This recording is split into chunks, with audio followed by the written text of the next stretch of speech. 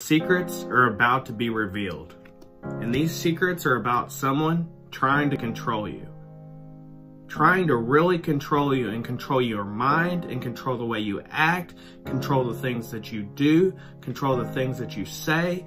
And they're also trying to control you because they probably have a family with you. Okay? They probably have a family with you. And what Spirit wants you to know, as far as what you're creating for yourself, you're going to have movement. You're going places. Okay? You're going places.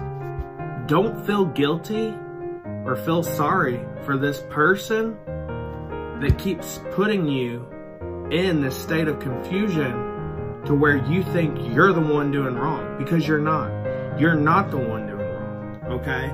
This person has an ego and they're trying to get it to where all your hope is gone. They're stealing your energy. They're stealing your hope. They're stealing your dreams.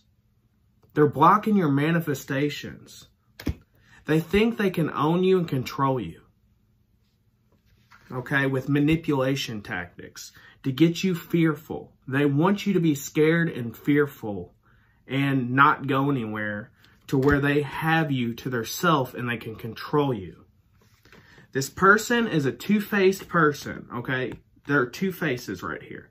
This person's a two-faced person, and they think they have the power to control you and one-up you, okay? And as far as a long-term relationship with this person, they're going to be two-faced. They're going to be two-faced, and you're going to end up having hurt feelings and suffering in silence in the future. It's destined to happen. Don't let this person do that. Take your power back. You deserve so much more than what this person has given you. Take your power back and take it back now.